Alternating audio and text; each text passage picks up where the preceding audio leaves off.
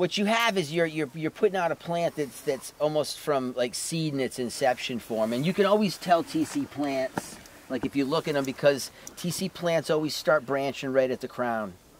So when you're doing typical clones, there's a larger spacing in between because of hormonal interference. Mm. So what you have with most of the stuff we work with is plants that are occluded from viral inhibition, and it creates these sugar movement issues.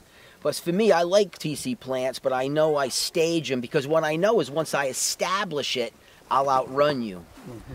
But it's in the initial formation. But what I and the reason why we like TC in a lot of work, so you see it indoor heavily, but vertical systems almost always exclusively use TC mm-hmm. because I get branching at a faster rate.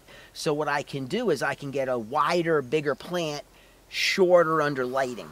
And so TC, if you screw up the formulation, you can hormonally charge the plant so actively that it will never go into flower. Mm. So the science of this is is well now I'm terrified. Yeah, no, no, you can that didn't help me at all. Yeah, no, no, I know, I know, I know the scientist that made this formulation, and so her formulation is money. Okay. Yeah, no, this this this lady did a great job. But, but once again, it's the source. But it's the thing yeah. is that when you're yeah, talking about these TC operations, once you get a, a certain level in a bank, so like these plants come out of these huge pull-out containers that each one has 250,000 plants in the rack.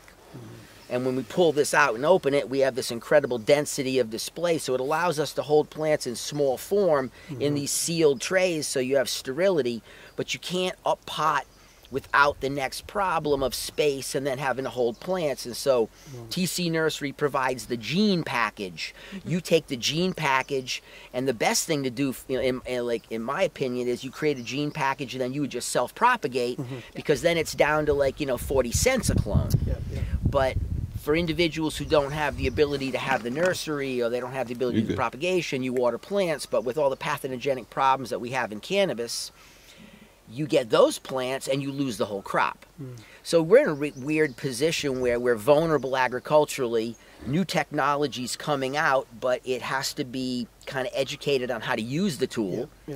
And when you are used to what we are used to doing, which is taking a plant, plugging it, prepping it, and it's woody. Mm-hmm. And then you're like, this is juvenile. But what this has, though, is zero inhibition and optimal hormonal charge. So, like, once we run them side by side, mm. TC almost always catches up and then fills out with a beautiful canopy because, like I said, you have no when you have viral inhibition, it just means that you're not transporting sugars through the system so you don't stack tissue correctly. Mm-hmm. And because of it, your secondary metabolite production sucks. Mm-hmm. So you get no smell, no flavor, low cannabinoids, and you also get really weak branching junctures. Mm-hmm. So you see the branches peeling off. So teething.